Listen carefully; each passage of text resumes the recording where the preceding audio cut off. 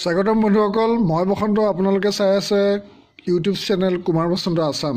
এই ভিডিঅ'টোত আলোচনা কৰিম অষ্টম শ্ৰেণীৰ সমাজ বিজ্ঞান বিষয়ৰ এটা পাঠ পৰিকল্পনা বা লেচন প্লেন আপোনালোকে স্ক্ৰীণত দেখিছে তথ্য চিনাক্তকৰণ কত আছে তাতে বিদ্যালয় নাম শ্ৰেণী শিক্ষাৰ্থীৰ সংখ্যা গড় বয়স সময় আৰু এইফালে বিষয় লিখা আছে সমাজ বিজ্ঞান পাঠৰ নাম অসমৰ নদ নদী পাঠ নং পাঠ্যপুথি আৰু শিক্ষকৰ নাম এইকেইটা আপোনালোকে লিখি ল'ব তাৰপিছতে সাধাৰণ উদ্দেশ্যাৱলী আছে।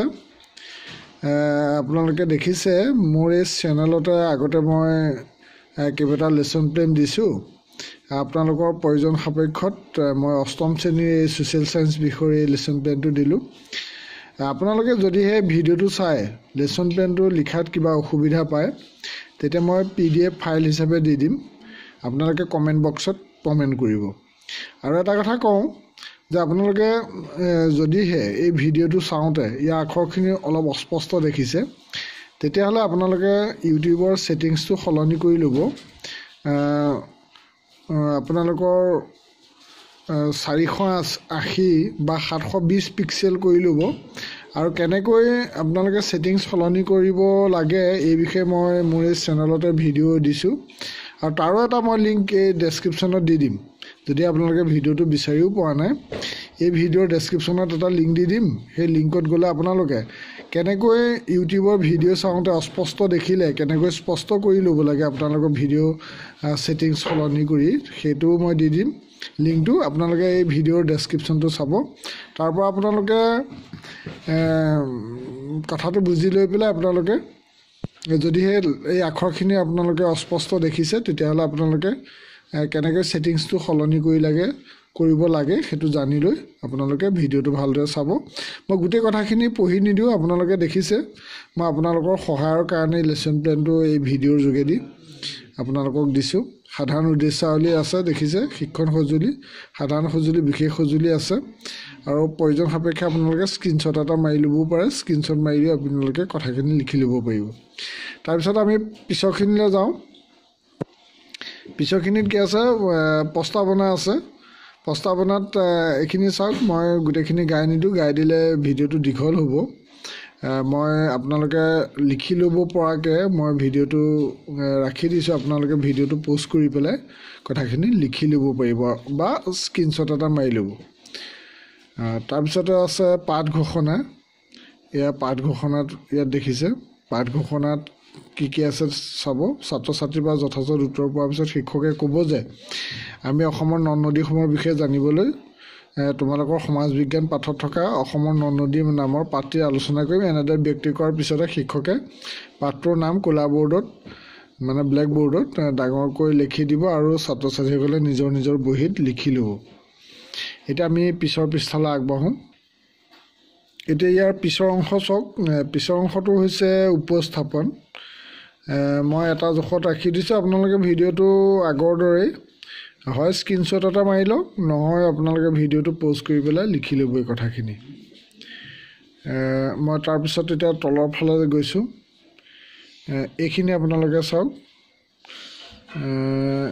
এইখিনিতো ঠিক সেইটো আপোনালোকে স্ক্ৰীণশ্বট এটা মাৰি লওক অন্যথা এটা আপোনালোকে ভিডিঅ'টো প'ষ্ট কৰি লিখি লওক কথাখিনি। তাৰপিছত মই নেক্সটলৈ আগবাঢ়িছোঁ। নেক্সটত আছে আপোনালোকে দেখিছে এইটো সামৰণি আছেগৈ। আৰু ওপৰ অংশটো মই দেখুৱাই দিছোঁ।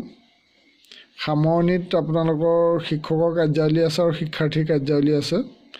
এইখিনিৰ পৰা আপোনালোকে আগৰ দৰেই ভিডিঅ'টো প'ষ্ট কৰি পেলাই কথাখিনি লিখি ল'ব পাৰিব অন্যথা স্ক্ৰীণশ্বট এটা মাৰি ল'ব পাৰিব। তাৰ পিছৰখিনি মানে পিছৰ সামৰণিৰ যিটো পিছৰ অংশ আছিলে মই সেই পিছৰ অংশটোলৈ আগবাঢ়িছোঁ। এতিয়া আপোনালোকে আপোনালোকে দেখিছে ইয়াৰ পিছৰ অংশটো। এইটো আপোনালোকে পিছৰ অংশটো চাওক। তাৰপিছতে গৃহকৰ্ম আছে। শ্ৰেণী কক্ষ ত্যাগ আছে একেবাৰে শেষত। ছাত্ৰ ছাত্ৰীয়ে গৃহকৰ্মকেইটা বহীত টুকি লোৱাৰ পিছত শিক্ষকে বৰ্ডখন পৰিষ্কাৰ কৰি নিজৰ আহিলা পাতিসমূহ সামৰি ছাত্ৰ ছাত্ৰীসকলৰ পৰা লৈ বিদায় লৈ শ্ৰেণীকক্ষ ত্যাগ কৰিব।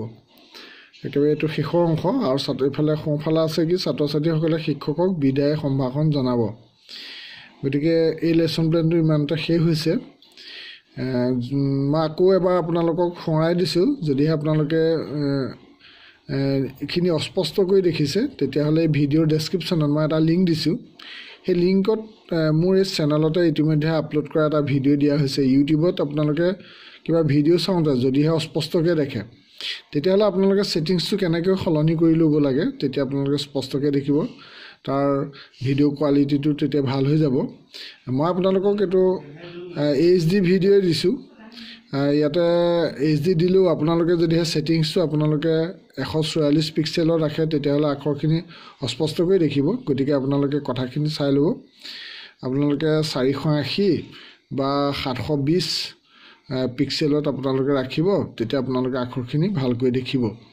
কেনেকৈ কৰে মই ভিডিঅ'ৰ যিটো ডেছক্ৰিপশ্যন আছে তাতে দিছোঁ মই লিংকটো যি নহওক যদিহে ভিডিঅ'টো ভাল পাইছে লাইক এটা নিশ্চয় কৰিব শ্বেয়াৰ কৰিব। আৰু চেনেলটো যদিহে ছাবস্ক্ৰাইব নকৰাকৈ আছে যদি আগতে ছাবস্ক্ৰাইব কৰিছে তেতিয়া আকৌ ছাবস্ক্ৰাইব কৰাৰ প্ৰয়োজন নাই। যদিহে নকৰাকৈ আছে তেতিয়াহ'লে ভিডিঅ'ৰ তলতে যিটো ৰঙাকৈ ছাবস্ক্ৰাইব বুটন আছে তাত এবাৰ প্ৰেছ কৰি থ'ব।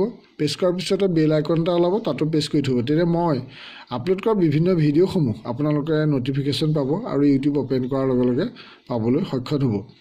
আপোনালোকে জৰুৰ কমেণ্ট বক্সত জনাব আপোনালোকৰ মতামত কেনে পালে আৰু যদিহে প্ৰয়োজন হয় ভৱিষ্যতৰ মই ভিডিঅ'বিলাকত পি ডি এফ ফাইল দিম আপোনালোকে কিবা অসুবিধা পাইছে নেকি জনাব। আৰু কেনেধৰণৰ লেচন প্লেন লাগে সেইটো কথাও জনাব। আজিলৈ ইমানটা সামৰণি মাৰিছোঁ। Thank U for ৱাটছিং